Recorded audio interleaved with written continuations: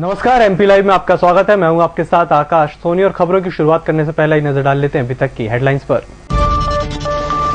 मुख्यमंत्री शिवराज सिंह चौहान ने की रेल बजट की सराहना, रेल व्यवस्था में दूरगामी सुधार लाने वाला बजट। मुख्य सचिव ने भेजे कलेक्टर्स को निर्देश, मौसमी रोगों से पूरी मुस्तैदी से बचाए जनता को। और अब खबरें विस्तार से। मुख्यमंत्री शिवराज सिंह चौहान ने कहा है कि रेल मंत्री सुरेश प्रभु ने संतुलित और रेल व्यवस्था में दूरगामी सुधार लाने वाला बजट प्रस्तुत किया है। शिवराज सिंह चौहान ने कहा कि रेल मंत्री ने अगले पाँच वर्ष में रेलवे सुरक्षा तथा अधोसंरचना में आठ लाख छप्पन हज़ार बीस करोड़ रुपए निवेश का लक्ष्य रखा है। इससे न केवल रेलवे व्यवस्था सुदृढ़ तथा सुविधा युक्त होगी, बल्कि देश की अर्थव्यवस्था में भी सुधार होगा। मुख्यमंत्री ने कहा कि रेल हमारी परिवहन व्यवस्था का सबसे प्रमुख अंग है। रेलवे व्यवस्था को मज़बूत और सुविधा संपन्न बनाने के बारे में लंबे समय से विचार चल रहा था। मैं देश के रेल मंत्री सुरेश प्रभाकर प्रभु को बधाई देता हूँ कि उन्होंने रेलवे को गतिशील करने और आम यात्रियों को सुविधा देने वाला बजट प्रस्तुत किया।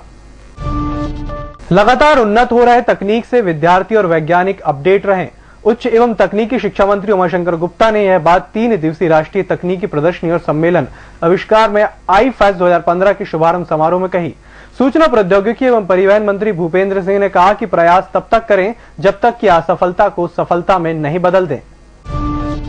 प्रदेश में लक्षित सार्वजनिक वितरण प्रणाली में मार्च माह में उपभोक्ताओं को प्रति परिवार एक किलो अतिरिक्त शक्कर दी जाएगी। यह व्यवस्था खाद्य नागरिक आपूर्ति विभाग ने मार्च माह में त्योहारों को देखते हुए की है।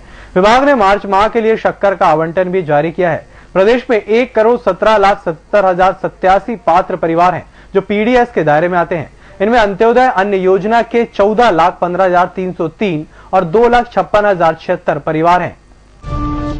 मुख्य सचिव एंटोनी डिसा ने प्रदेश के सभी कलेक्टर्स को मौसमी रोगों से जनता को बचाने के लिए पूरी मुस्तैदी से मैदानी अमले को सक्रिय रखने के निर्देश दिए हैं। राज्य के प्रत्येक ग्राम में सीयूजी सिम के ज़रिए जिला एवं राज्य मुख्यालय से आईडीएसपी के माध्यम से राज्य सूचना प्रबंधन की प्रक्रिया से ग्रामीण क्षेत्रों में जानकारी संबंधित अधिकारी तक पहुँचाने की व्यवस्था की गई है। इससे रोगों पर प्रभावी नियंत्रण की प्रक्रिया का क्रियान्वयन संभव होगा। शीतकाल समाप्त होने के बाद प्रायरु वैक्टर जनित रोग और मौसमी बीमारियाँ बढ़ने लगती हैं। मुख्य सचिव के निर्देश पर लोक स्वास्थ्य एवं परिवार कल्याण विभाग ने आगामी महीनों में बीमारियों की रोकथाम कार्य योजना पर अमल शुरू किया है। समीक्षा में राज्य के चौसठ विकासखंड में मलेरिया के प्रकरणों की ज़्यादा संख्या पाए जाने पर विशेष कार्य योजना संचालित होगी। प्रमुख सचिव स्वास्थ्य की अध्यक्षता में राज्य टास्क फोर्स की बैठक में मलेरिया प्रभावित इलाकों में नियंत्रण के लिए आवश्यक योजना को अंतिम रूप दिया गया। इसमें रोग के उपचार, रोकथाम, औषधियों की उपलब्धता और कंट्रोल रूम के माध्यम से प्रतिदिन मॉनिटरिंग और प्रबंधन इकाइयों की ओर से ग्राम स्तर तक मॉनिटरिंग शामिल है। इस बुलेटिन में फ़िलहाल इतना ही। बाकी खबरों के लिए देखते रहिए एमएस टीवी नमस्कार।